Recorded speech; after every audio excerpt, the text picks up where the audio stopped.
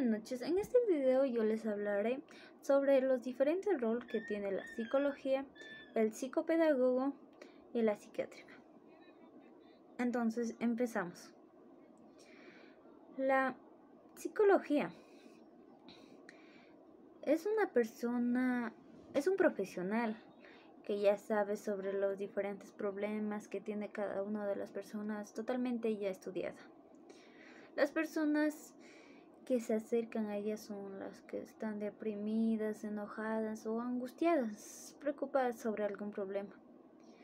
Lo que el psicólogo hace es tratar de ver y resolver el problema que tiene cada uno, cada una de las personas y tratar de resolver lo que a, lo que a diario van pasando en su vida cotidiana. En cambio, el psicólogo es aquel que se relaciona con el aprendizaje del estudiante. Es decir, él mira para que el estudiante tenga un buen aprendizaje. Digamos que un estudiante tuvo, eh, o sea, digamos que era un buen estudiante y empieza a portarse mal o ya no realiza las actividades que lo hacía con tantas ganas. Entonces, eso va viendo entre todos los estudiantes, va estudiando, más que todo se va ganando la confianza de cada uno de los estudiantes para así ver el problema que hay y tratar de resolverlo para que un, para que un aprendizaje sea de la mejor manera. Que el estudiante no se sienta afligido, entre otras deprimido y así.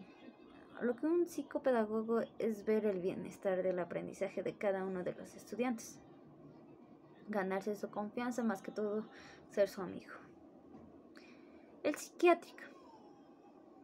Esto ayuda mucho a la salud mental, ya que hay algunos, no por todos, hay algunos estudiantes que son alcohólicos, muchas de las veces se han perdido en el, en el trazo del camino, han pasado por las drogas. Y eso, y muchas de las veces no se sabe lo que le afecta y él trata de llegar de llegar a él para ver cómo, cómo se siente, tratar de mejorar su salud, para que vuelva a tener, o sea, la misma mentalidad que tenía antes. Alguna de esas, este, el psicólogo, o sea, ayuda a la salud mental, conversa, ven el problema y tratan de resolver. Esto es muy a menudo que se ve en, la vida cotidiana. Ya que muchos este o sea pasan por ese por ese paso, van pasando por ese paso.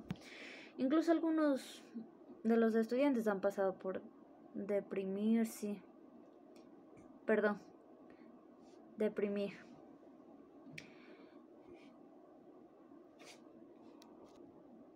Y bueno, con esto ya termino lo que yo expongo sobre mis ideas. Espero que les guste y muchas gracias.